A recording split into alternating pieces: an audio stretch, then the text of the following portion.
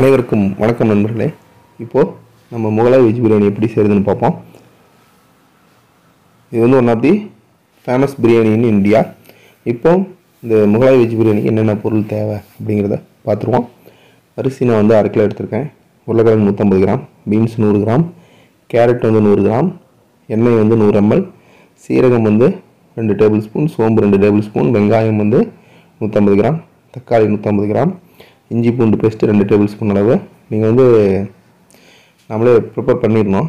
Readymade தேவையில் நல்லா இருக்காது.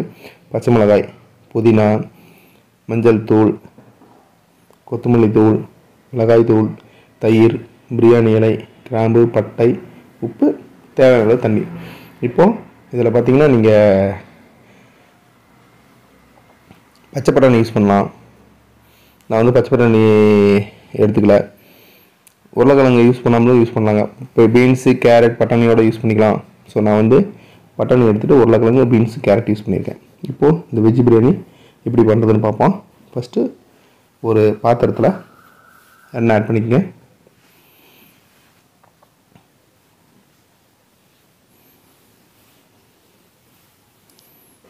எண்ணெய் சூடானதோ நாம் இதில் வந்து சீரகம் சோம்பு ஆட் பண்ணிடலாம். இது அப்படியே லைட்டாக இப்படி மிக்ஸ் பண்ணி விடுங்க இது மட்டும் இல்லாமல் பிரியாணியில் பட்டை கிராம்பு இதெல்லாம் ஆட் பண்ணிடலாம்.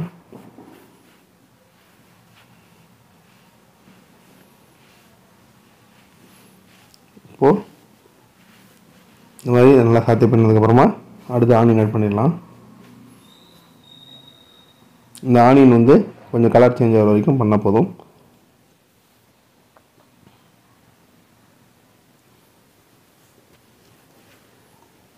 இப்போது அடுத்ததாக வந்து இஞ்சி பூண்டு பேஸ்ட் ஆட் பண்ணிக்கலாம்.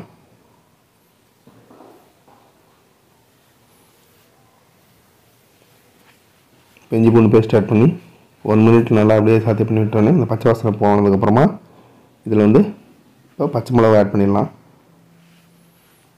பச்சை மிளகா இந்த மாதிரி ஸ்லைஸ் பண்ணி வச்சேன். பச்சை மிளகா ஆட் பண்ண உடனே அடுத்ததாக கொத்தமல்லி. தலை கொஞ்சம் ஆட் பண்ணிக்கலாம்.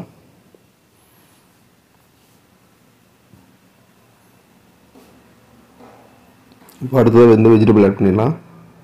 கேரட் உருளைக்கிழங்கு. அடுத்ததாக பீன்ஸ் நல்லா வாஷ் பண்ணி கட் பண்ணி வச்சு எடுத்துக்கங்க. இப்போது இதை ஆட் பண்ணி வச்சு இது அப்படியே வந்து லைட்டாக வந்து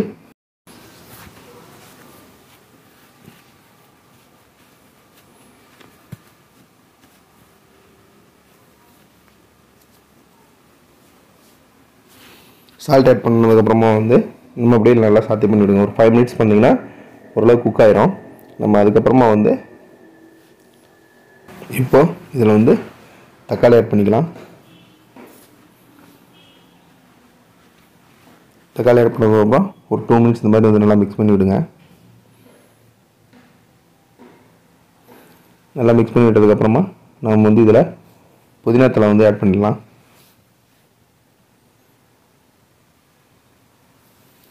புதினத்தில் ஆட் பண்ணி வச்சு ஆட் பண்ணதுக்கப்புறமா வந்து நல்லா மிக்ஸ் பண்ணிவிடுங்க இது மட்டும் இல்லாமல் பார்த்தீங்கன்னா புதினத்தில் வந்து நல்லா வாஷ் பண்ணி எடுத்துங்க. மண் இருக்கும்.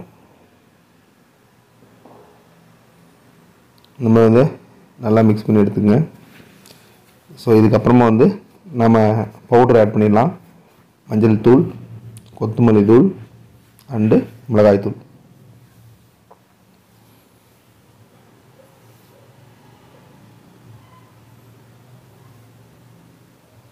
இது வந்து நல்லா ஆட் பண்ணிவிட்டு நல்லா மிக்ஸ் பண்ணி விட்டுக்குங்க. ஏற்கனவே வந்து பச்சை மிளகா ஆட் பண்ணியிருக்கோம். ஸோ அதனால் வந்து அதுக்கு தகுந்த மாதிரி இந்த மிளகாய்த்தூள் வந்து ஆட் பண்ணிக்கங்க.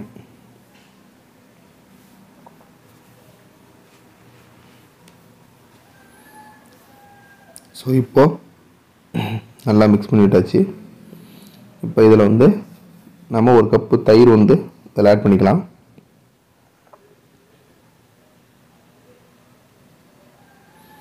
ஸோ ஒரு கப் தயிர் ஆட் பண்ணி நல்லா மிக்ஸ் பண்ணி விடுங்க.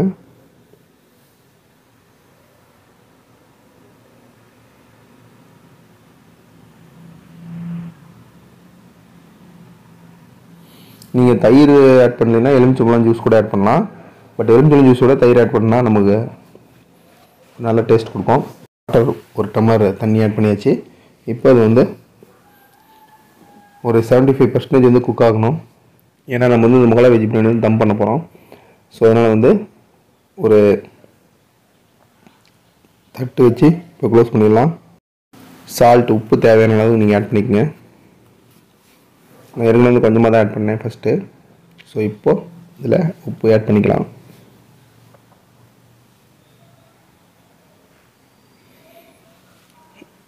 ஆட் பண்ணதுக்கு நல்லா மிக்ஸ் பண்ணி விடுங்க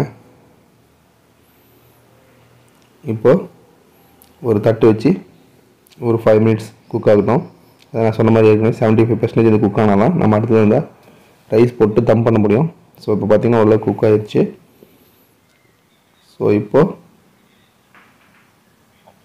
இது வந்து தண்ணி ஏற்கனவே வந்து ஒரு ஒரு டம்ளர் ஆட் பண்ணோம் இல்லையா? இப்போ வந்து பேலன்ஸ் நான் வந்து அரிசி வந்து ரெண்டரை டம்ளர் அரிசி ஆட் பண்ணியிருக்கு. அது எடுத்திருக்கு. அதனால் வந்து நீங்கள் இதில் நாலரை டம்ளர் தண்ணி வந்து ஆட் பண்ணிக்க இப்போ தான் அடி பிடிக்காமல் இருக்கும். இப்போது அரிசி ஆட் பண்ணிடலாம். ஸோ அரிசி வந்து நல்லா வாஷ் பண்ணி ஒரு தேர்ட்டி மினிட்ஸ் வந்து நல்லா ஊற வச்சுருதுங்க நீங்கள் இந்த முகலாய் வெஜ் பிரியாணிக்கு வந்து நீங்கள் பாஸ்மதி ரைஸ் யூஸ் பண்ணால் ரொம்ப நல்லாயிருக்கும். நான் வந்து பாஸ்மதி ரைஸ் யூஸ் பண்ணல. நான் நார்மல் ரைஸ்லேயே வந்து பண்ணியிருக்கோம் ஸோ இப்போது அந்த ரைஸ் ஆட் பண்ணதுக்கப்புறமா நம்ம வந்து அப்படியே லைட்டாக வந்து நல்லா மிக்ஸ் பண்ணி விடுங்க. ஸோ இந்த மாதிரி மிக்ஸ் பண்ணி விட்டதுக்கப்புறமா நாம் வந்து இப்போது இந்த முகலாய் வெஜ் பிரியாணி வந்து தம் பண்ணிடலாம். ஒரு தோசைக்கல் எடுத்துக்கங்க. ஸோ அது இந்த மாதிரி வச்சு அது மேலே வந்து மேலே லைட்டாக தண்ணி ஆட் பண்ணிக்கங்க. அப்பப்போ வந்து தண்ணி ஆட் பண்ணிகிட்டே இருங்க. ஸோ இப்போது அந்த பாத்திரத்தை இந்த பிரியாணி பாத்திரத்தை எடுத்து வச்சுட்டு இது மேலே வந்து ஒரு வெயிட்டுக்கு ஒரு பாத்திரத்தில் தண்ணி. மொத்தம் வெயிட்டாக இருக்கிற ஒரு பொருள் வந்து இந்த தட்டுக்கு மேலே வைக்கணும். ஸோ நான் வந்து ஒரு பாத்திரம். தண்ணி வச்சிடுறேன். சரியாக டுவெண்ட்டி மினிட்ஸ் இருபது நிமிஷம் இது விட்டுடலாம். இருபது நிமிஷம் தம் ஆகணும். ஸோ அதே மாதிரி தண்ணி அப்பப்போ வந்து தோசைகளில் சைடில் ஊற்றிட்டே கூட இருக்கலாம். ஊற்றாமலும் வைக்கலாம். அப்படியும் தம் பண்ணலாம். பட் அப்பப்போ ஊற்றிட்டு இருக்கலாம். இப்போது இருபது நிமிஷம் ஆயிடுச்சு இப்போ பார்த்திங்கன்னா இப்போ நம்ம இதை எடுத்துருவோம். எப்படி வந்திருக்குன்னு பார்ப்போம். ஸோ ஃபஸ்ட்டு இந்த தண்ணி எடுத்துடுறோம் அடுத்தது வந்து